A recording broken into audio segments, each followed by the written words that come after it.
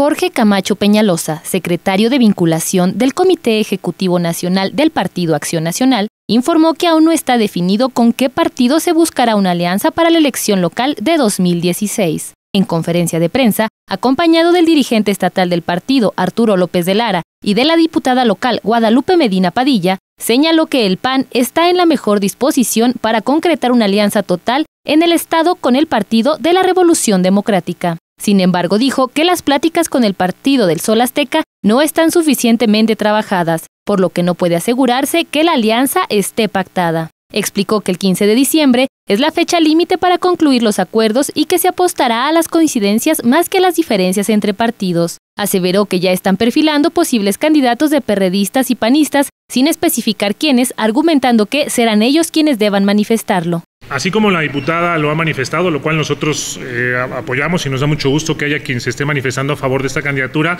hay seis o siete perfiles que se están analizando para esta posible alianza.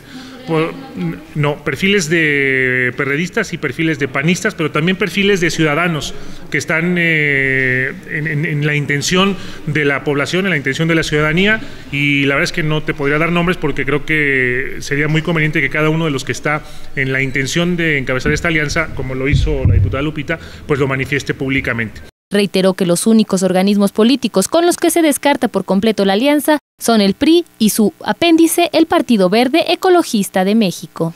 Con imágenes de Ernesto Félix, Emilia Pesci, NTR Televisión.